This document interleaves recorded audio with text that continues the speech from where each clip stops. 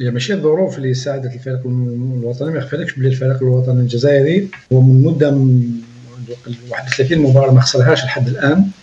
وبعد من بعد قدوم آه، المدرب جبان بالماضي هو اللي عطى نفس جديد خلينا أول شيء نرحب بالكابتن النجم الشاب الصغير اللي إن شاء الله يكون له مستقبل كبير.